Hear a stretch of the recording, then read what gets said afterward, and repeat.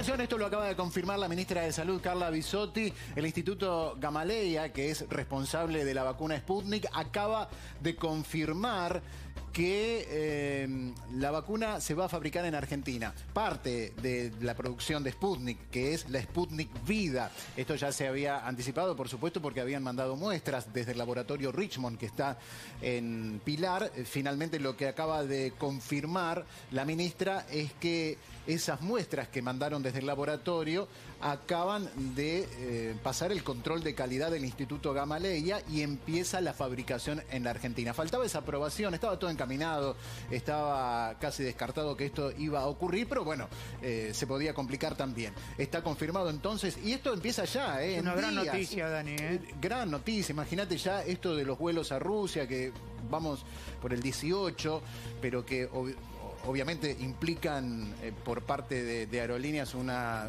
eh, una logística importante. Ahora, imagínate que esto se fabrique y empiece ya a fabricarse acá a 50 kilómetros de, la ciudad de Buenos Aires. Sí, una noticia muy importante. Faltaba justamente la confirmación oficial, pero todo indicaba que ya en los próximos días iba a comenzar el proceso. En realidad no se fabrica en la Argentina, sino que van a venir los viales y acá se va a hacer la parte final, la del envasado. Pero ya agiliza muchísimo la logística porque en eh, los cargamentos serían mayores y ya estaría la disponibilidad de las dosis directamente en la Argentina. Se habla de 2 millones para fin de mes, en principio solamente de, con este mecanismo. Exactamente. primero se hablaba de la posibilidad de, producir este mes 500.000 dosis del componente 1 y 500.000 del componente 2, pero en las últimas horas lo aumentaron y dijeron que lo, más probable es que se puedan hacer en este mes, ya directamente este mes, 2 millones de dosis, tanto del primer componente como del segundo componente, y podrían estar llegando los viales con justamente el principio activo para hacer